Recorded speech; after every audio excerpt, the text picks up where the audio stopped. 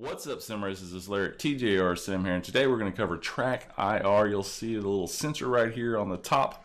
Let me show it to you here. Hopefully, it's coming in the camera right there. That is the Track IR sensor. Hope that came out looking okay. Back to, back to me. See if I'm in the picture again. Yes, I am. So, uh, Track IR, what is it? It is a head tracking system. As you see here, I got up uh, on, from their website rather. It's a head tracking system here. You put a little uh, uh, reflective uh, metal rod on your on your on your cap here. I'm using my Track Junkie Racing cap, uh, which you can get from my Zazzle account, but uh, links below. But anyway, yeah, you just clip this on, and don't mind this. I have a little extra Velcro. I forgot what I was doing with that, but um, a long time ago. But I've reviewed Track IR actually quite a long time ago and uh, beginning stages of my channel. And actually, I really enjoyed it. It's it's really the introduction to VR is really what it is. Because uh, you still, as you can see here on the screen, you still get six degrees of freedom. Really, the only thing that you're missing between Track IR and VR is is setting in your environment and looking around, right, uh, in your environment. Now, nothing beats VR for that, right? And uh, we're not, I don't think Track IR would replace VR, but it is a great alternative uh, to VR, especially for those that get sick playing VR. Uh, also, if you're like me, I get tired of VR after a while. You know, I wear this big old headset right here, and um, and it and it works great, right? Let me make sure I get in the camera there. It works great. There we go. Oculus Rift S, and I actually have a Reverb G2 on pre-order, and so I can't wait to get that to try it out, just to bump the resolution up, so it's easier on my eyes. But it works great. Nothing beats VR, really. Uh, but after a while, this gets really hot, and you got to have a fan going over over to the side and uh, blowing on your face so you can stay cool all the time and uh, it just gets really tiring on your eyes. So I switched back to Track IR, not permanently or anything like that, but started uh, looking at it again, pulled it out, and uh, lo and behold, I was like, man, this thing is awesome, man. I forgot about this. Let me show my viewers this again.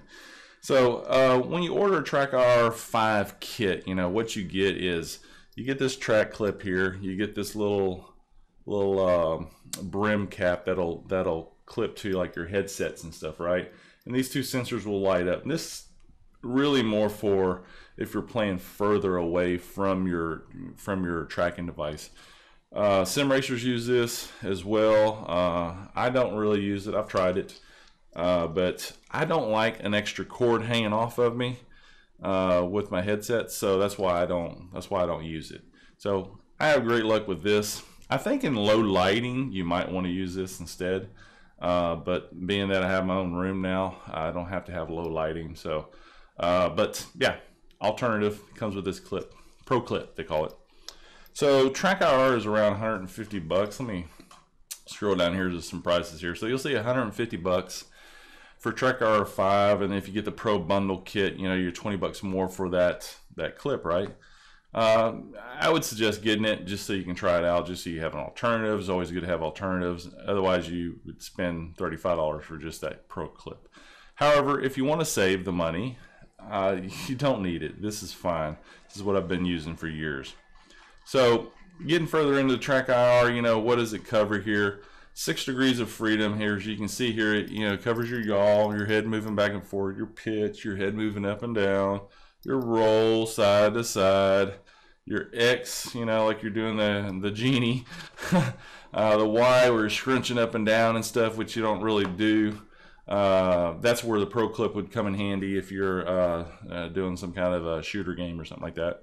And the Z, of course, forward and backwards and stuff. So, being that I'm in a motion rig, uh, you know, I experience all of these axes uh, as anyways. You know, so it's it's cool that it keeps up with it. Uh, so I run with all all of them on. However, when I was in a static rig, all I ran was with uh, was yaw and pitch. Uh, didn't mess with roll or anything like that. Uh, left uh, all those off, right? So just yaw and pitch is the only thing I use, and works fine like that too. So, you know, going into you know how well this thing tracks, is it any good? Does it keep up? Does it stutter? Uh, anything like that? No, it's really precise. It works just as well as your VR headset does. Uh, except it's not hot and you don't have something on your face all the time, right? You just put it on a ball cap, you're good to go. Uh, it tracks really well. It has a field of view of 51.7 is what it's saying here on on, on the uh, on the website. 640 by 480 resolution doesn't need to be higher than that anyway. Works great. 120 FPS, nine milliseconds response time. To me, that seems kind of slow in this day and age where you got one millisecond monitors and stuff like that. Um, you'll never notice notice the difference when you're in the car driving around, moving your steering wheel, and looking side to side. Uh, you don't notice the difference. So it works really, really well. Uh, so let me see. Reporting resolution 96,000 by 72,000. This is 1850 subpixels. Uh, sampling rate 120 FPS, like we talked about. Weight 1.8, which is just the sensor up there. Uh, let's see, connection USB. Now that sensor up there that I pointed to earlier, uh, which is here you see on the screen, it comes with a USB. Just plug it in USB point 1.0 or 2.0 uh, connection rather. Doesn't need 3.0, nothing fancy. Uh, it does have uh, articulating, as you see here, uh, it articulates and, and you can move the mounts in and out and stuff. Let me show you. So, you know, this can move up and down. These can move in and out that can spread. I just have it set in here though.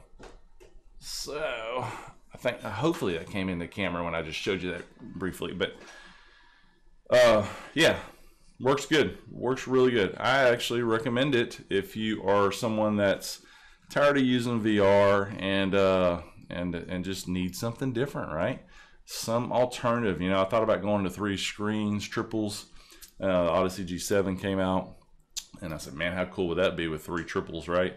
Uh, but however, I was like, let me just use my VR, I mean my uh, Track IR with my 34 inch screen and see how I get along. So here's the program. So after you, you buy it and you download the program for free, um, this is what you get. And I'll go big screen here for you. So as you can see here, I'm moving left and right, up and down. Let's see, forward and backwards that dilly thing. I think it's up and down, right? Yeah, up and down.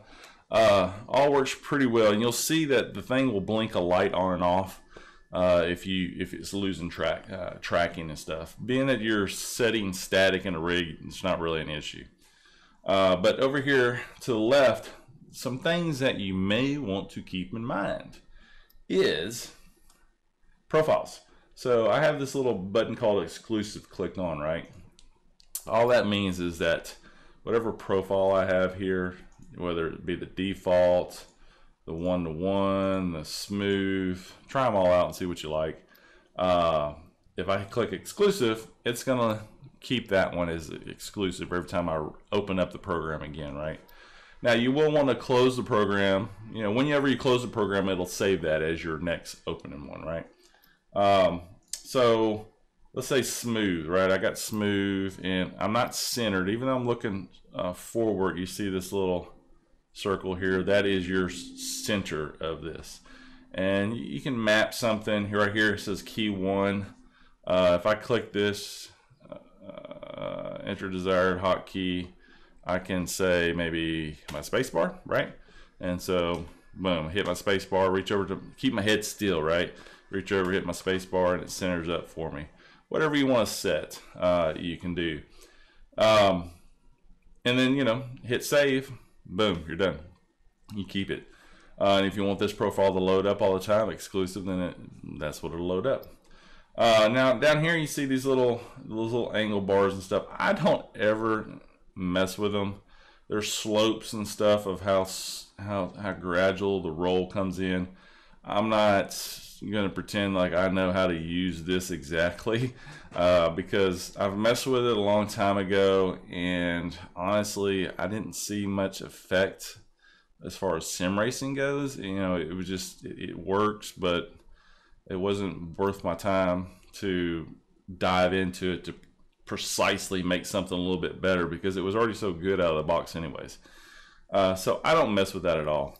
Now what I do is come over here and I created a, I'm sorry, right here, smooth. I created a racing profile. I don't want to update the other one. And if you want to create a new profile, you can just click on this little plus sign there and then it says new profile, you know, replace it, type in whatever you want. I called mine racing. And uh, and then set all these the way you want And I have it as like a flat curve there. It works great for sim racing. I don't need it as smooth curve. I don't need whatever. But if you like the way your head tracking is in, in, in these other other situations like smooth or whatever like that, if you oh, oops switch to it smooth if you like the way that feels when you're looking through the car or turning your head like this or whatever use that as your default and save as, you know, and go from there. So anyway, just some options you can use. I use racing. I hit exclusive. That way it loads up every single time. Now, whenever you put on your ball cap and you got it here lined up, you'll notice that I'm not quite centered and you'll want to go ahead and click your hotkey to center up. Now, you don't really have to do that before you launch a game or anything like that. You map it in the game like VR and uh, that'll be your centering mode, right? Uh, so pretty, pretty easy. One thing I want to point out to you guys, and uh, three gals that may be watching, is the speed right here, uh, the 0.3. Now you can change this. Notice as I go up, so I keep my head centered, right? If I was to put this, I think default is 1. And uh, let me center it here. So as soon as I move over, I'm all the way at negative 90, you know, at around 45 degrees looking to the right or the left, right? I'm about 75 degrees right there. I'm looking at my peripheral, right? Uh, if I was to move this all the way down to negative one, recenter, you notice how slow, how much range I cover now. It is very minimal, right? So you can set this thing up crazy. You can, you can have it basically when you just barely turn your head, you're looking at 180 degrees behind you, right? Uh, so for, you know, what does that tell you for sim racing or, or what do you need to use for sim racing? Uh, I use three. I'm sorry. Yeah. Is it three? Let me see. What do I use? I, three, I think three. Uh, let me see. Default. Go back to my racing. Oh, two. I use two. Okay. Uh, what's smooth set at? Smooth. Oh, it just keeps it no matter what. Anyway, I use two recenter and that's pretty close to as far as I like it to pan because when you're using track track R your screen that you, as you see here is panning right and you only got so much of your peripheral that you can you can see from so two to three is max uh, point three is is pretty good. You can almost when you're driving along uh, you looked to the side like side of here uh, out of your peripheral here you can see the uh, the car completely you know the side the car car coming up on to the side of you right?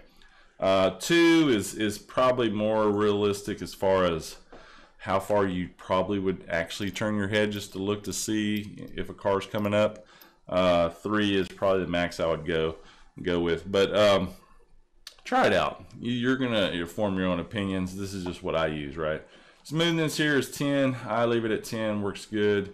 Uh, it's just how smooth it transitions, you know, between things as, as far as I'm understanding what it does. Uh, but yeah, works good.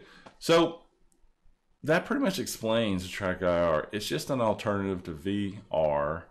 Uh, it actually came out, I don't even know if it came out before VR or not, but I certainly was using it way before VR uh, came out. So I like it, enjoyed it a lot. It'd be a lot of fun with triples as well. Although triples with the side screens, you know, you got the peripheral going on. You really don't have to use track R for those. You just turn your head and see the car beside you. Uh, but so it's really good for a, a nice widescreen like this 34 inch uh, Alienware that I'm using. If you had a 49 inch, oh, that'd be even better uh, to uh, do it because you're already covering so much more. If you got a 49 inch screen, you might have to put the speed down to 0.1 because you really don't need to turn completely to see the out the side window of your car. Maybe too much. Uh, so the speed is something you'll play with because you, when you're naturally reacting and looking real quick, uh, if the speed's turned up too high, that might be too fast on, of movement on the screen and be disorientating to you. So uh, that's why I use point two. anyway, I'm going to jump into Automobilista 2. Now, uh, oh, real quick, titles here. It pretty much comes working with all the major titles. Uh, ACC, ACC, AC, iRacing, rFactor, uh, AMS. Uh, it doesn't show AMS one here, R2. However, it does work in AMS2. Uh, the trick to that, which I looked, went and looked on the forums real quick, was uh, uh, you just load VR uh, through Steam uh, and uh, load it up that way, and it'll recognize this as if it's a VR cap or VR headset rather, and works fine. go to the helmet cam view of your car and AMS2. Boom, you're done. So good stuff. So let's roll into checking it out in game uh, real quick. All right, so real quick, like I said, let me uh, open this up a little bit bigger full screen. Open up Steam, you know, uh, we're gonna play some Automobilista 2 real quick, and I'm gonna show you how to launch it with the Track IR, of course, running and stuff. So you just hit play, and you wanna pick the uh, Launch Automobilista 2 in Steam VR mode, and hit play. Let her rip, potato chip. And while it's doing that, I'm gonna go ahead and load up my AMS2 cloud setting from uh, Sim Experience. And I don't really need my headsets on. All right, so we're in here. Let me go ahead and go to options, audio. I'm gonna turn this volume all the way down to five, otherwise you wouldn't be able to hear me talk.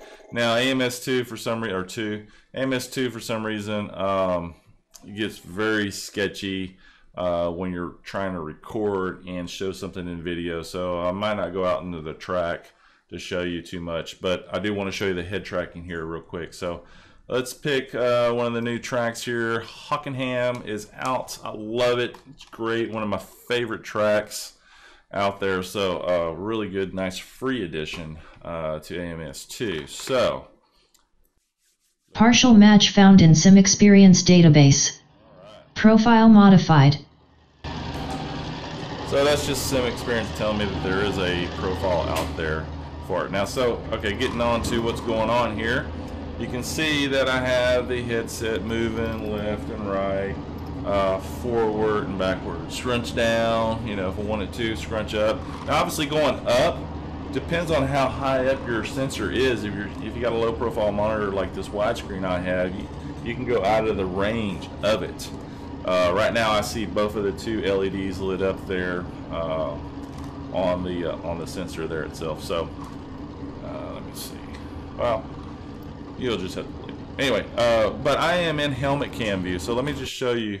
If you go over to options here, uh, camera configuration, uh, you can turn your your show helmet on and off. But this is the view you have to be in for it to work with Track IR, as you can see on the screen. Uh, look to apex. I leave it at 50 right now. You can actually, of course, put that down to zero, which just means for AMS2, just kind of like it is Project Cars 2, as you come to the corner, it automatically pans the camera slightly so you can see the apex of, of the corners and stuff. It kind of helps you out a little bit. Uh, 50 is probably as high as I would go. Uh, obviously, you can leave it off. Uh, but uh, helmet leaning and camera leaning uh, doesn't really matter uh, there. So actually, I think I'm I think I like around 40. Uh, I've been trying 50 for a little bit, but uh, you'll find that when when it goes too much, you feel like you lose control of looking through the corner. So uh, anyway, let's go out on track real quick, and I'll just show you. Hopefully, I know it'll be a little bit jittery, but uh, you know, hopefully, uh, just bear with me for a couple little laps here. and all right. So as you can see, you can look around and stuff real fine. This is with point two, right? So I'm turning my head, you know, about 45 degrees and I'm seeing completely out the side window, which is great. Uh, that's enough to where my peripheral, I can see what's going on ahead. It's not like you spend a lot of time looking at your side windows, right? But you do want to check them to see what's going on. So, um, I don't have my headphones on, so I can't hear what's going on, but going through here. It feels very natural to use uh, Track IR uh, because you know you're like, I want to check the mirrors real quick. You can check your mirrors real quick. You don't have to wait for the camera to snap by hitting uh, look left, look right button uh, for it, which is always I don't know unnatural to me to actually have to do that. And uh, I may be busy turning my wheel at the time, and I wanted to look further over there to see what's going on. motion's kicking me here. Um, so yeah, it, uh, works really good. I like it. Uh, as you can see here on screen, and I know it's going to be a little jittery for you to see. bear with me. It's just this game. It's the only game that does it. But yeah, good stuff. Uh, that's at two. Uh, obviously, the higher you go, you know, the more it's going to pan the screen over uh, for you. So, yeah, just depends on what you want, your preferences. So, I think this pretty much covers, you know, all about Track IR without making this video too long. I can sit here and actually leave it rolling and play this dang game forever because uh, I really, really like AMS2. So, uh, but anyway, until next time, I hope you enjoyed this look at Track IR. It's not necessarily a review, just wanted to reintroduce Track IR to, to the channel. Did a review a long time ago. I, you know, as if I was to say for review, I highly recommend Track IR uh, for you to try out. It's pretty inexpensive uh, toy to have to just mount up to any brim of cap and it makes it easy for when you have people come over and they want to feel kind of like what VR is and uh, but uh, have that you know being able to look around and all that. So works really good, uh, especially for a, a one screen setup. Triples, uh, you know, adds a little bit more to it as well, but I don't think you would probably need it with triples. Uh, but a single screen works really cool like that. So that way you can set your field of view correctly on your triple screen and then just pan your head to look around as you see here in the background going on. So uh, good stuff, good stuff. So anyway, check out the link below. I'll have a link to the Amazon link here for the uh, Track IR. And uh, until next time, we'll see you on the track. I'm out. All right, just real quick, I wanted to show you uh, Track IR real quick in uh, Assetto Corsa. So thanks for sticking in to the end of the video. A little bonus here, you can see a Assetto Corsa working for a an AMS, uh, I'm sorry, AMS2. Assetto Corsa competition with Track IR. This is what it looks like. Let me start my car. So it works good, very smooth. Uh, looking around, this is with a 0.2. So if I had a 0.3 going on for uh, the speed, rather, when I look out the left here, you know, I would see instead of just what you see here, it would be, of course, further over to the left, right? So it works works really good. I stalled the engine. Got to use the clutch a little bit, get going.